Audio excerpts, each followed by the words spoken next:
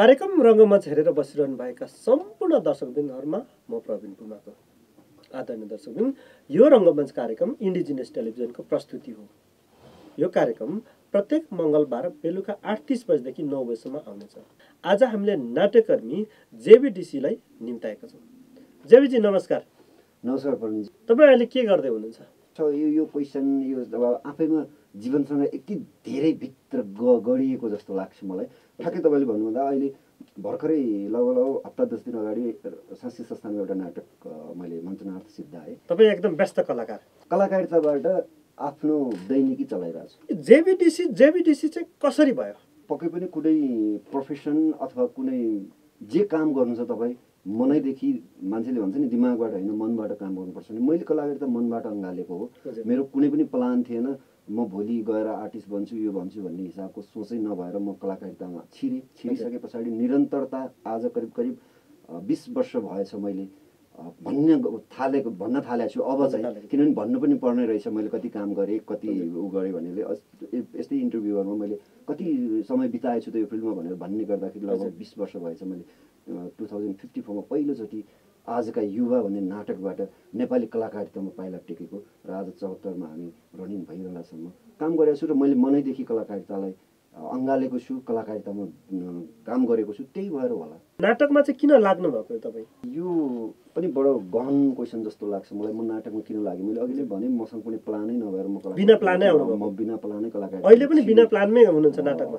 अहिले त प्लान बिना प्लानै छु भन्न मिल्दैन। किनभने मैले जति बेला दुई हजार चौन्नमा मैले नाटकको इम्प्याक्ट बुझेँ कि मैले रङ्गमञ्च सुरु गरिसकेपछि नेपाली रङ्गमञ्चमा काम गरिरहँदाखेरि चौन्न पचपन्न छपन्न तिन वर्षमा कन्टिन्युसली मेरो जन्मथलो दाङमा काम गर्दाखेरि। मैले जति पनि नाटकहरू मञ्चन गरेँ जुन जुन ठाउँहरूमा दाङको लगलो प्राय सबै भेगहरूमा पुगेँ त्यो। ठाउँमा पुग्दाखेरि मैले मञ्चन गरिसकेपछि तत्काल त्यो पब्लिक बाट आउने चेन्जेस र त्यो ठाउँमा हामी जुन इस्युमा काम गर्थ्यौँ र त्यो इस्युमा भएका समाधानहरू देख्दाखेरि नाटकमा केही चिज छ भनेर त्यस पछाडि चाहिँ म अब नाटकमै केही गर्छु भन्ने हिसाबले लागेको हो त्यो भएर अहिले त अब प्लान छ नै किनभने मैले के देखेको छु भने जस्तो कला साहित्य पक्कै पनि समाज परिवर्तनका सम्भागहरू हुन्। त्यसमा। पनि अझ पडपड चाहिँ मैले ड्रामाबाट देखेको छु र तपाईँले नि त्यो के समाज के अरे रूपान्तरणको लागि चाहिँ प्रपर सम्भाग हुन् भन्ने तपाईँले नाटक गरेको कुराहरूमा कति चाहिँ समाज परिवर्तन भएको छ अहिलेसम्म यो त जस्तो म दाङकै घटनाक्रम गर्दाखेरि दाइजोमा त्यो टाइम पिरियडमा लगभग लगभग यो पचासको दशकको कुरा चौन्न भनेपछि मध्य पचास भनौँ न त्यो टाइम पिरियडमा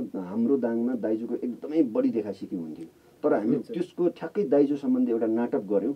धेरै गाउँ सहरहरूमा पुगिसकेपछि त्यहाँ त्यो नाटकको प्रभावले गर्दा त्यो दाइजो मान्छेहरूले स्वेच्छाले दिन थाल्यो। त्यो त हाम्रो सफलता थियो। त्यो नाटकको सफलता थियो। त्यस्तै। त्यहाँ त्यो टाइम पिरियडमा के भयो जस्तो कुनै रोग परपर एकदमै महामारीको रूपमा फैलियो। झाडा पखाला भने हामी धेरै कामहरू हुन्छ। त्यसपछि उनीहरूले सिके ए अवेरनेस यसरी काम गर्नु रहेछ झाडा पखाला भने यो रहेछ भने त्यहाँ चेन्जेस भयो। त्यही चिज नदिने हो त्यो हामीले तपाईँकै नाटकै कार्यक्रम कारणले गर्दा परिवर्तन भएको हो त।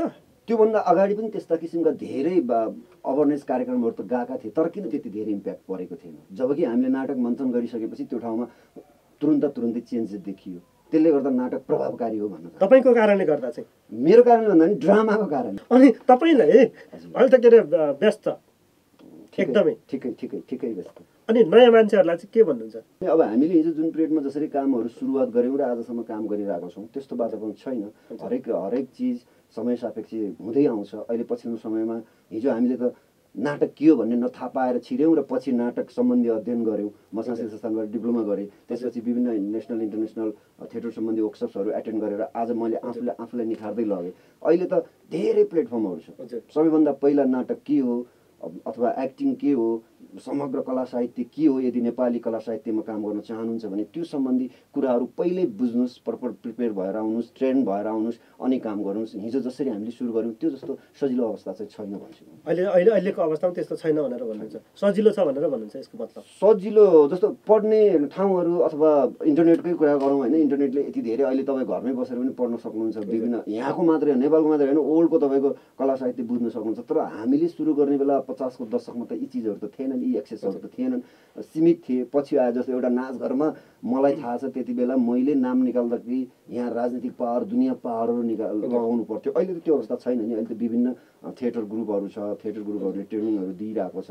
त्यो चिज चाहिँ लिनुपर्छ भन्छु म। तर त्यतिले मात्रै नेपाली नाट्यकर्मीहरूको लागि त्यसले मात्रै सम्भव हुन्छ? विश्वविद्यालय चाहिँदैन? एकाडेमिक फर्मेटको चाहिँदैन? एकदमै पोइन्टेड कुरा उठाउनु भयो तपाईँले र अहिले हामीलाई यो टाइम पिरियड यो दुई दशकदेखि नेपाली रङ्गमञ्चमा यसरी काम गरिरहँदाखेरि यो बारम्बार खड्किएको कुरा हो।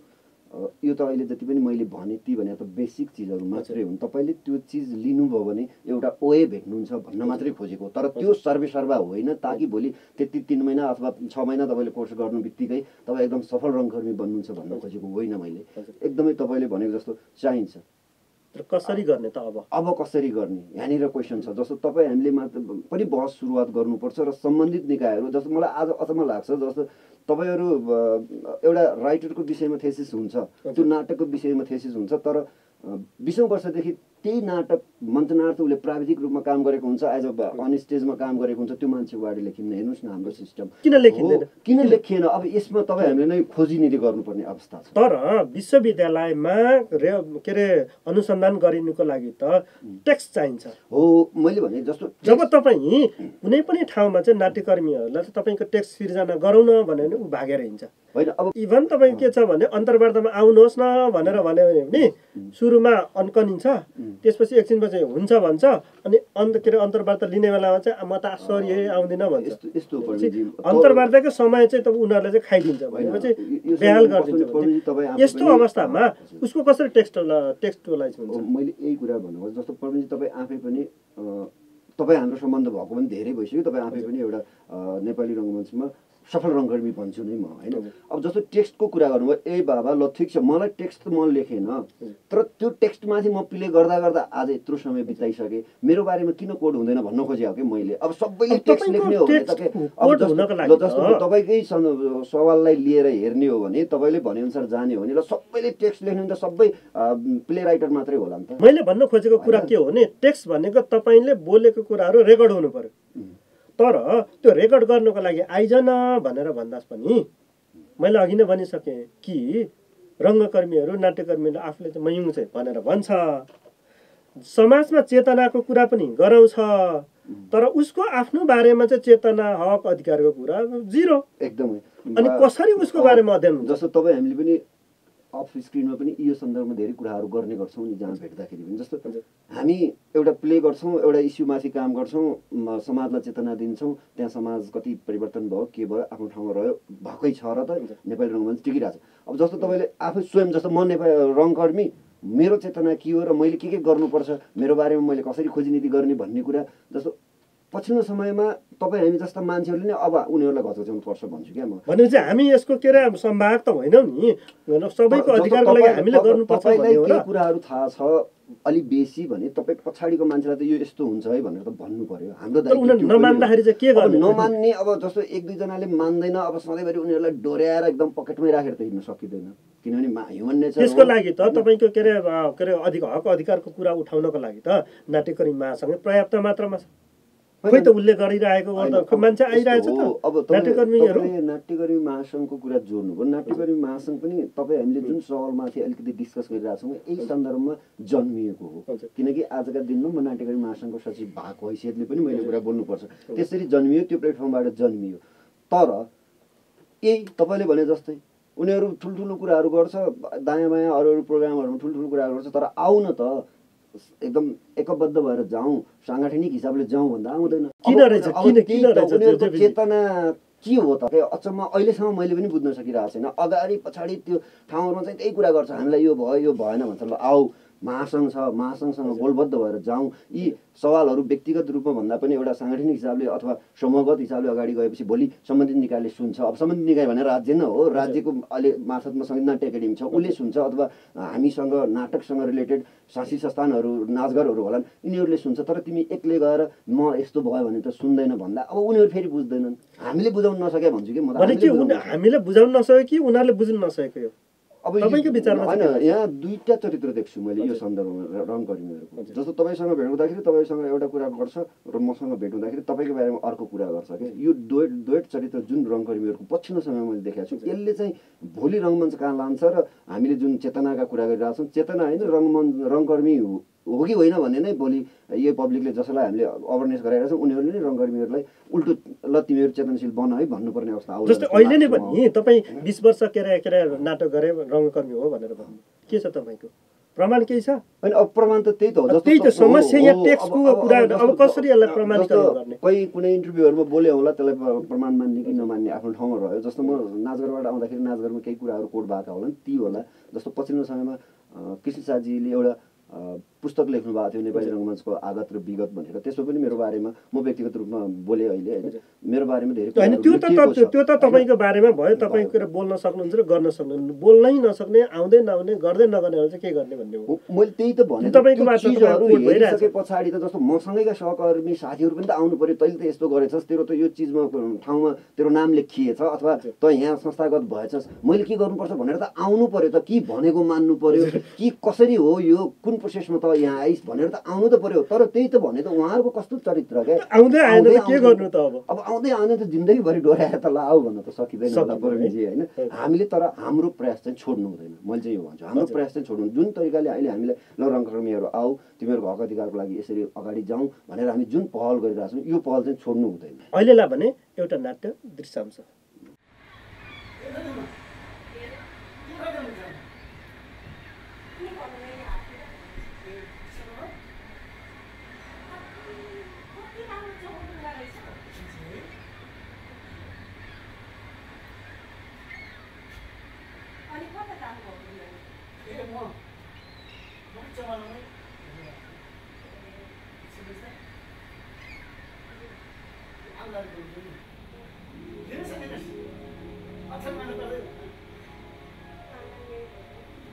मैले तपाईँको लागि भनेर माथि चलाउनु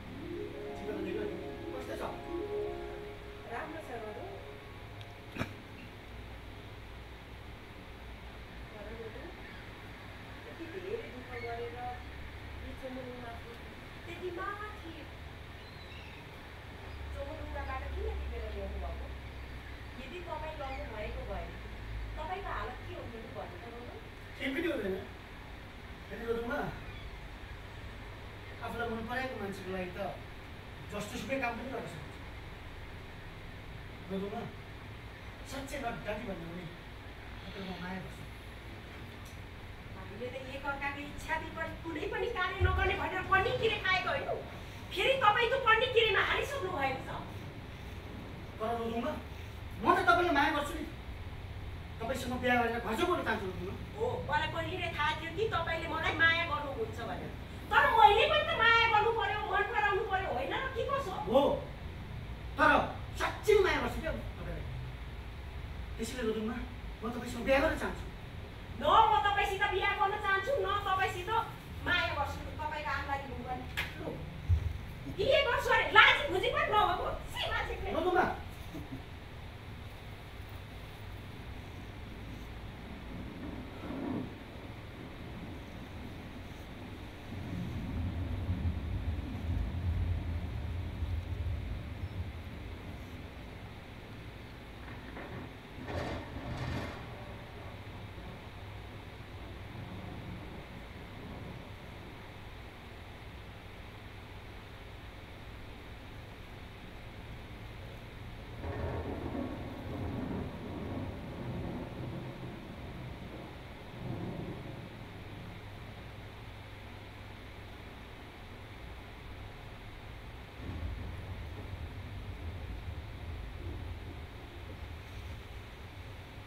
यो रोदोमालाई बिहा गर्छु भन्दा पनि उसले छाडेर स्वीकार गर्यो र मेरो विजेत गर्यो अपमान गर्यो।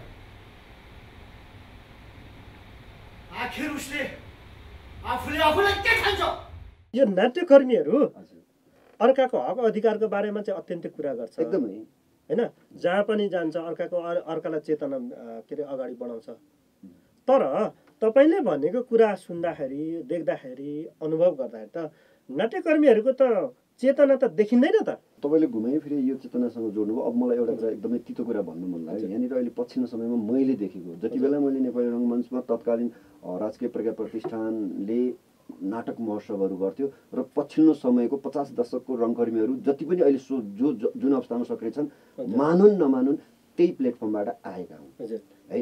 अब मैले जोड्न खोजेको कुरा के हो भने तर हिजो त्यो एउटा फेस्टिभल त्यो महोत्सव भनेको एउटा फेस्टिभल रङ्गकर्मीहरूको दसैँ जस्तो लाग्थ्यो। होइन? त्यो किसिमको त्यो ऊर्जामा काम गरिन्थ्यो। तर अहिले कस्तो भने धेरै ग्रुपहरू जन्मियो। धेरै ग्रुपहरू जन्मिसकेपछि तपाईँसँग एउटा ग्रुप छ मसँग एउटा ग्रुप छ अर्कोसँग अर्को ग्रुप छ। त्यो ग्रुप ग्रुप बिचमा एक किसिमको त्यो अन्डरस्ट्यान्डिङ हुन नसकेको जस्तो लाग्छ। भने आन्तरिक द्वन्द्व छ। मैले एकदम तितो कुरा बोलेँ। आन्तरिक द्वन्द्व यो आन्तरिक द्वन्द्वको कारणले पनि तपाईँ हामीले जुन चेतनाका कुराहरू गरिरहेछौँ त्यो यहाँसम्म मिट हुन नसकेको हो कि जस्तो मलाई त्यो त्यो आन्तरिक द्वन्द्वकै कारणले गर्दा चेतना नभएको हो त।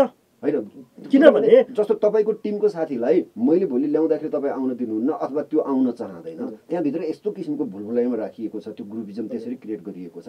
त्यसले गर्दा त जहिले पनि जहिले पनि त पछाडि परिरहने पछि। हो मैले यही कुरा भने त्यही भएर त उसलाई थाहा छ या छैन? अब त्यहाँनिर जस्तो ग्रुपको त एक दुईजनाले नै लिड गर्ने हो। ती लिड गर्ने लिडरहरू त कसरी भनौँ अब तर तर तर पनि त्यो समूहको लिडर त भयो। होइन?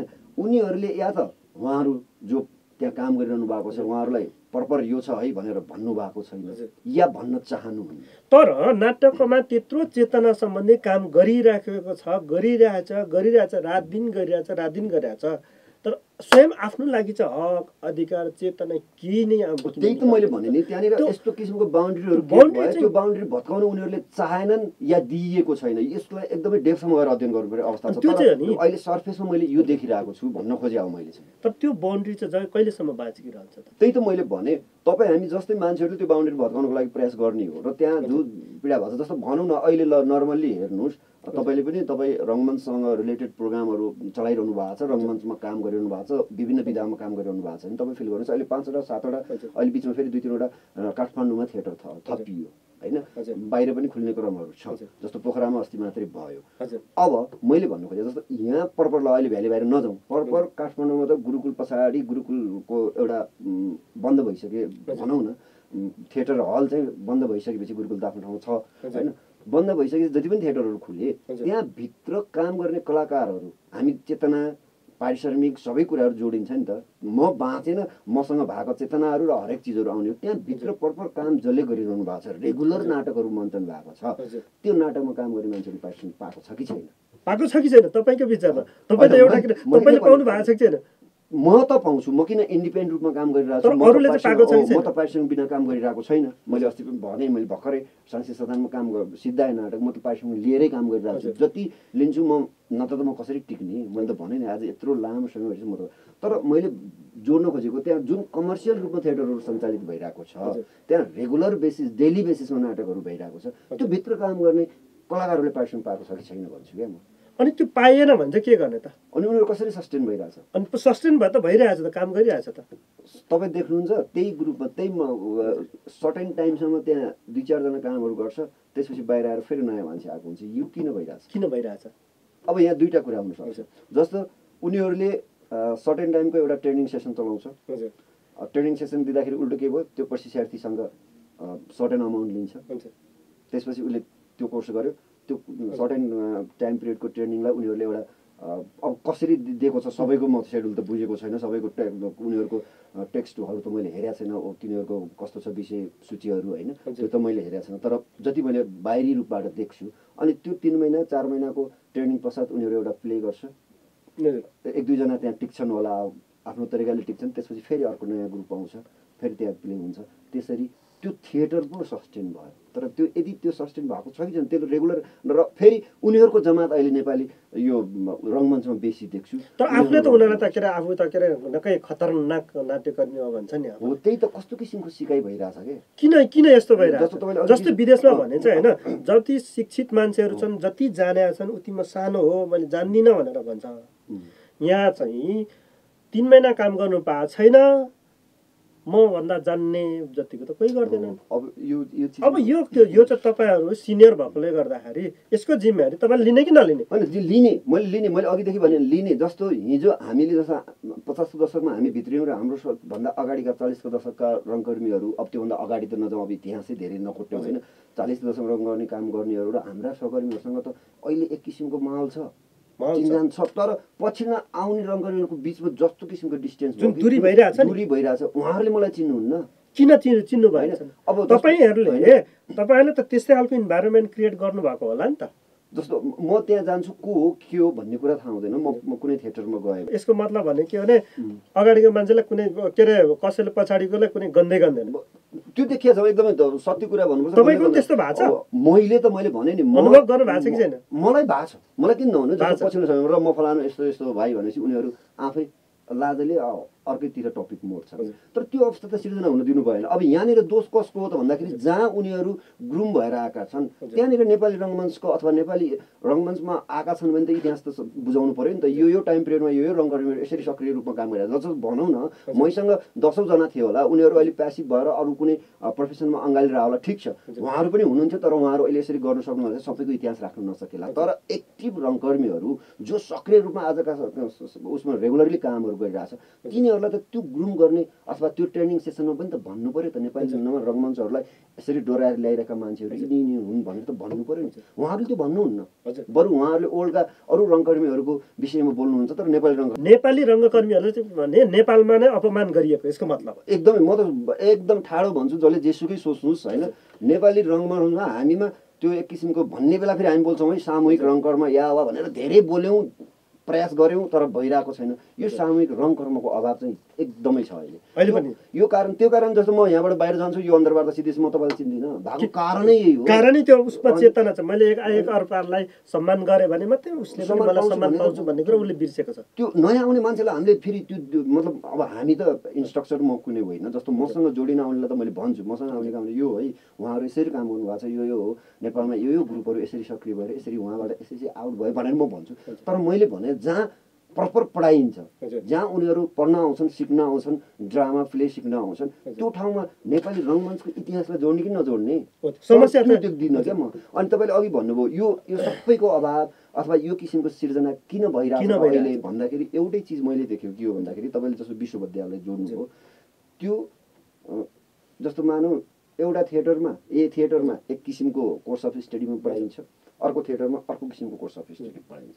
एटलिस्ट हामी रङकर्मी हामी त्यही एउटा चिज प्लेको बारेमा पढ्न आइरहेछौँ भने त लगभग लगभग समान कोर्स अफ स्टडी त हुनु पऱ्यो नि त कोर्स अफ स्टडी चाहिँ कसले हो बनाउने त? कसले बनाउने? यहाँनिर हो सम्बन्धित निकायको अब अहिले सम्बन्धित निकायको? अहिलेको राज्यको हिसाबले हेर्ने हो भने त पक्कै पनि सङ्गीत नाट्य एकाडेमी हो तर सङ्गीत बनाउँदैन। बनाउँदैन। अहिलेसम्म बनाएको छैन। अब उसले बनाउँदैन ठिक छ। बनाउँदैन भने मैले अघिदेखि जोडिरहे हामी तपाईँ हामी जस्तै अलिकति यो चिजको अभाव छ है भन्ने बुझ्ने मान्छेहरू एक भएर ल यो तरिकाको काम गरौँ है त। यो किसिमको स्टडी बनाऊ भनेर त अलिकति त्योसँग विज्ञ व्यक्तिहरू अथवा रङ्गमञ्चमा एकदमै विद्वत व्यक्तिहरू बसेर त बनाउनु पर्यो। यदि बनाइएन भने त जसरी अहिले छरिएर गइरहेको छ एकले अर्कालाई नचिन्ने अवस्था भयो। यो त झन् झन् बढ्दै जान्छ जस्तो मलाई लाग्छ। नाटकको बारेमा तपाईँ आफै एक्टिभिस्ट हो। तपाईँहरूले यो कार्यक्रम गर्नु भएको छैन? होइन हामीले प्रयास गऱ्यौँ। कति जस्तो अन्तर्क्रिया कार्यक्रमहरू तपाईँ पनि महासङ्घसँग रिलेटेड भइरहँदाखेरि हामीले सुरुवात गऱ्यौँ। केही। राम्रै चिजहरू आएर फेरि बिचमा ब्रेक भएको अवस्था छ। यसलाई फेरि टु बी कन्टिन्यू गर्ने हाम्रो सोच छ हामी गर्छौँ पनि। तर त्यसबाट पनि त मैले भन्न खोजिरह कुरा त उठे। उठे नि। तर पर्पर रूपमा कहिलेसम्म कुरा मात्रै उठाइरहने अब त हामी त लिपिबद्ध हुँदै जानु पर्यो। कहिलेसम्म चाहिँ कुरा उठाइ मात्रै रहने जेबिडिसी चाहिँ मैले निधारमा चाहिँ म चाहिँ के अरे हिँड्नु पर्ने। हो। उसको। उसको कुनै पहिचान छैन अहिलेसम्म? हो त्यही त मैले भने जस्तो हामीले? जस्तो हामी रङकर्मी निधारमा लेखेर हिँड्नुपर्ने अवस्था कहिलेसम्म भन्दाखेरि अब यसको समाधान जस्तो तपाईँ हामी जसरी अहिले सोसियल एक्टिभिस्ट अथवा थिएटर एक्टिभिस्टको रूपमा अगाडि आइरहेछौँ हाम्रो नै हो हामीले नगर्दाहरू सुन्दैन राज्यले। तर तपाईँ सिङ्गल गएर बोल्नुभयो भने त्यहाँ सुन्दैन क्या। म सिङ्गल गएर सुन्दैन। कम्तीमा यहाँ एक्टिभ यत्र थिएटरहरू छ यो सबैका दुई चारजना मान्छेहरू बसेर र हामी बसेर सामूहिक छलफल गरेर यो किसिमको एउटा कोर्स अफ स्टडी बनाउनु पऱ्यो बिचमा यो किसिमको डिस्ट्यान्सहरू देखिन थाले। यसलाई मेट्दै जानु पऱ्यो भन्ने कुरामा बहस हुन सकेन क्या यहाँ सबभन्दा ठुलो कुरा। त्यो बहस अब पहल? गरिरहेछौँ हामी गर्छौँ। गर्ने नै हो तपाईँ हामीले नै गर्ने हो गर्नुपर्छ। गर्नुपर्छ। र भोलिका दिनमा केही समयपछि आजको भोलि नहोला। होइन? जस्तो अहिले मानौँ न जस्तो चलचित्र कर्ममा अझ अलिकति रिटायर टाइम भइसकेपछि अहिले चलचित्र विकास बोर्ड अन्तर्गतबाट केही राहत पाइरहनु भएको छ उनीहरूले केही अब पारिश्रमिक स्वरूप केही पाइरहनु भएको छ होइन? तर हाम्रो आज एउटा नाटक प्ले गर्दा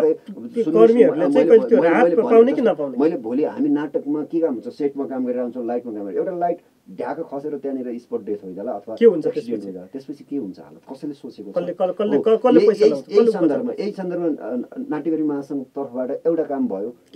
इन्सुरेन्सको काम भयो। एक्सिडेन्टल दुर्घटना बिमाको रूपमा मात्रै काम भयो। अब त्यसलाई अझ इन्लार्ज गर्दै बढाउँदै जाने योजना छँदैछ।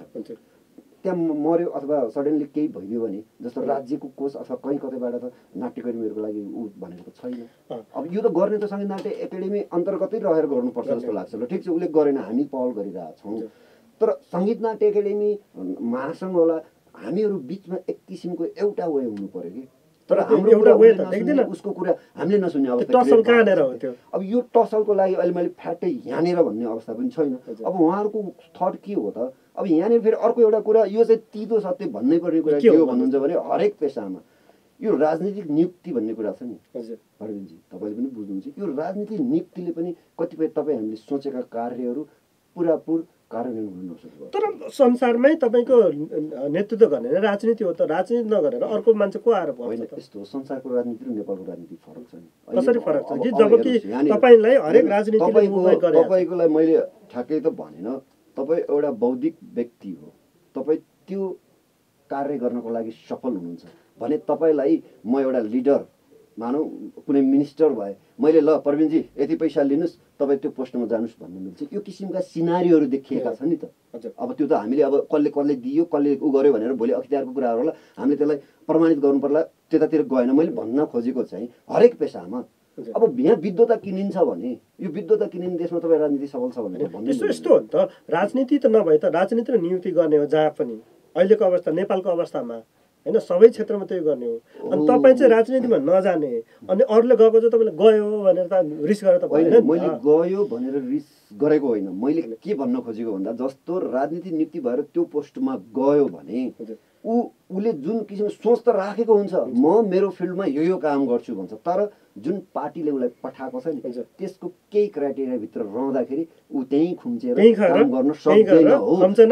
योबाट चाहिँ अलिकति बाहिर आउन सक्नुपर्छ अनि मात्रै हामी तपाईँ हामीले सोचेका कामहरू हुन्छन् भन्नु खोजेको। अब हामी यस कार्यक्रमको अन्त्य अन्त्यमा छौँ के छ तपाईँको अन्तिम कुराहरू अब अन्तिम कुरा त यही हो जति पनि कुराहरू तपाईँ दर्शकहरूले सुन्नुभयो पक्कै पनि नेपाली रङ्गमञ्चसँग रिलेटेड केही व्यक्तित्वहरूले पनि हेरिरहनु भएको होला अथवा नहेरे पनि अहिले त विभिन्न किसिमको ऊ छ भोलि यो प्रोग्राम युट्युबमा जाला कता जाला जहाँ जसरी हेर्नुहुन्छ अहिलेको यो आधा घन्टाको कन्भर्सेसन केही पनि होइन एउटा टपिक पनि क्लियर हुन पाउँदैन। यस्ता धेरै कन्भर्सेसनहरूको जरुरी छ। नेपाली रङ्गमञ्च मात्रै भन्दैन नेपाली समग्र कला साहित्यलाई हामीले माथि ल्याउनको लागि तपाईँ हामी जो यो चिजलाई बुझ्दछौँ त्यति मात्रै होइन दर्शक। भोलि त दर्शकको साथमा गएर त केही पनि हुँदैन चाहे त्यो चलचित्रमा होस् चाहे नाटकमा होस्। र जुन देशको कला साहित्य धनी हुन्छ त्यति बेला मात्र राष्ट्र समृद्धि हुन्छ। त्यो कारणले नेपाली कला साहित्यलाई विश्वव्यापी बनाउनमा तपाईँ हाम्रो सबैको जिम्मेवारी हो र यस्ता कन्भर्सेसनहरू धेरैभन्दा धेरै गरौँ र एउटा निचोड निकालौँ। जुन किसिमको तरलता देखिएको छ योबाट बाहिर आउनुपर्छ नेपाली कला साहित्य भन्न चाहन्छु आदरणीय दर्शकबिन अहिले तपाईँहरू सुन्दै हुनुहुन्थ्यो नाट्यकर्मी जेबिडिसीको विचार। यो कार्यक्रम तपाईँलाई कस्तो लाग्छ? तपाईँको कुनै सल्लाह सुझाव भए हामीलाई सम्पर्क गर्नुहोला। अहिलेलाई भने म लगायत मेरो सम्पूर्ण टिम तपाईँहरूबाट बिदा हुन चाहन्छु। नमस्कार।